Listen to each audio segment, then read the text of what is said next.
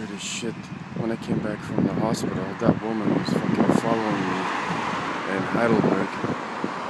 I got to uh, the Burger King down there and went to my B&B hotel and this fucking woman was following me. It's now 8:40 and she's now going back to my hotel as I've just been followed by police again.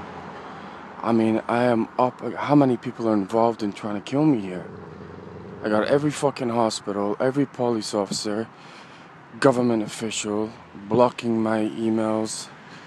Danielle, who works for SAP, SAP Hybris, lives in Heidelberg. He knows what's fucking going on. They're trying to kill me. There's no fucking doubt. See, she knows what's going on. They all know what's going on. It is murder in front of town after city after village. Complete murder. There's buildings going up all over the place.